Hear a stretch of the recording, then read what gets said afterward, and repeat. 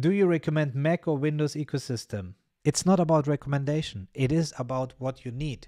If you ask me what I have here, let me see if I can actually share my iPhone with you guys. This is working. It is. Look at this. Now you see behind the scenes.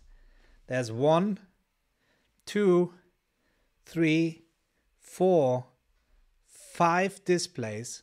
Two of them are 5K Apple Studio displays, right?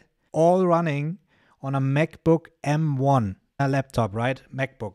So now tell me one Windows machine who can handle all these five displays at once, being so quiet at the same time and already two years old. I still have a Windows machine for gaming. That's one of my hobbies. I like gaming, but I'm a PC gamer. So I just rebuilt the Windows machine as well. So I'm not only gaming, I'm learning, programming, developing to. I keep learning. I just love learning new things. And that's why I'm on Windows. And therefore, Windows works much better for this use case. And that's what you need to realize what you need it for.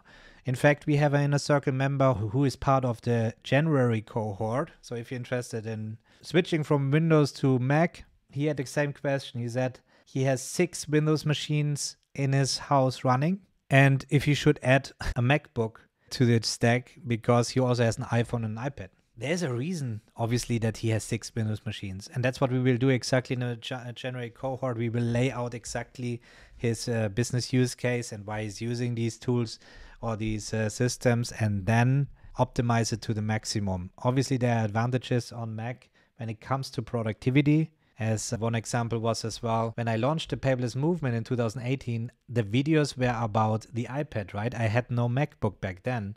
And I started editing the videos. I was already video editing for years on Windows machines using Adobe Premiere. And then I bought an old MacBook Air 2016 and I installed Final Cut Pro, which is the video editing software on Mac. And I was blown away by this old machine everything was so smooth and there was no stuttering and nothing. And I thought I have a high end Windows machine sitting there with a very expensive video editing software that I'm paying monthly. Everything runs better on this MacBook. That was the moment I was hooked. All right. I got the MacBook and then you was inside the Apple ecosystem. So the moment you realize that when you copy something, some text or an image on your iPhone, it's already available on your MacBook and things like that. That's something I keep missing when I sit on the Windows machine and then I cannot quickly move things around. But these are my personal workflows. It might be not useful for you. So that's again that we teach in ICOR that we really use what you need. Yeah, Freddy says, wow, you have so many screens. Yeah, because that's a new streaming setup. And I wanted to have the setup really in a way that's because I'm get a new capturing card where I finally can have 4K resolution and 50 frames per second recording on my MacBook and streaming. And that is a dream coming true. And I need these screens, but also for work. I at least two screens. I hate it to work on one screen. I need to have context and action, right? Information and action. So if I'm doing anything here, I need have a separate screen where I can keep the focus. And that's where I live with without any other because the MacBook I only have now I would just get the Mac Mini M4.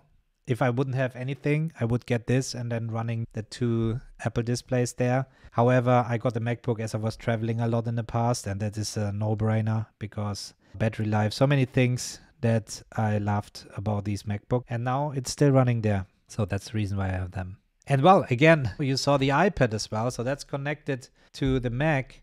And in fact, this allows me now, this allows me now to, let's see if this works. See, now we can even, I can quickly, simply here even my Apple Pencil and I can show you everything is already up to date. So you guys, much more is coming very soon. So stay tuned for sure. Everything is ready. I never was so ready for 2025 than I am now.